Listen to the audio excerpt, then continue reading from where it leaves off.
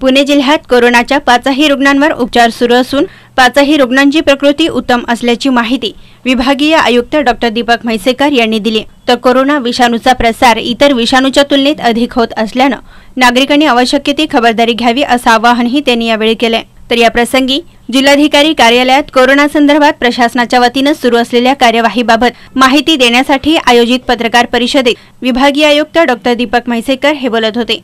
तर या प्रसंगी पोलीस आयुक्त डॉक्टर के व्यंकटेशम जिल्हाधिकारी नवल किशोर राम पुणे महापालिकेचे आयुक्त शेखर गायकवाड मुख्य कार्यकारी अधिकारी आयुष प्रसाद निवासी उपजिल्हाधिकारी डॉक्टर जयश्री कटारे आदी उपस्थित होते. तर या प्रसंगी कोरोनाबाबत नागरिकांमध्ये निर्माण झालेल्या भीतीबाबत जनजागृती करण्यासाठी आलेले विभागीय आयुक्त डॉक्टर दीपक म्हैसेकर काय म्हणाले ते पाहूयात.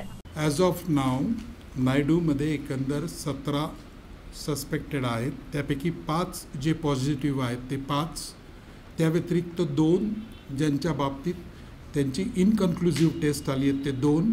आणि त्या व्यतिरिक्त दहा ज्यांचे सॅम्पल आज आम्ही अवेट करतो आहोत. असे एकंदर सतरा जणं आज नायडूमध्ये आहेत. आणि या सतरा जणांच्या या दहा जणांच्या बाबतीत आज त्यांची टेस्ट आल्यानंतर निर्णय घेतला जाईल.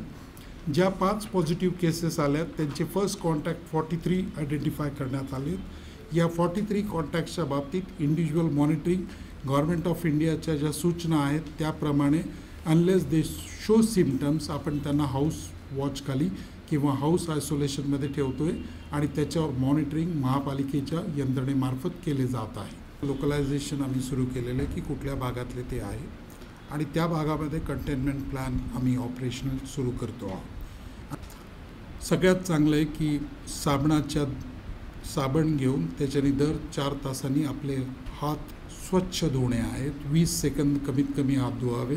इट इज नॉट जस्ट की फ्रंट तळवा आपण साफ केला.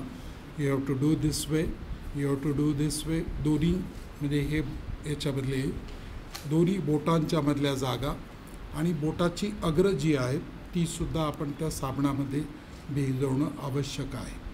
तर ही सगळ्या पद्धतीने जर का आपण केलं तर साधारण वीस सेकंद त्याच्यासाठी लागतात. आणि हे वीस सेकंद करणं हा सगळ्यात बेस्ट ऑप्शन आहे. की हे ड्रॉपलेट्स आहेत कॉन्टॅक्टशिवाय जाणार नाही. हवेतनं उडून येतील.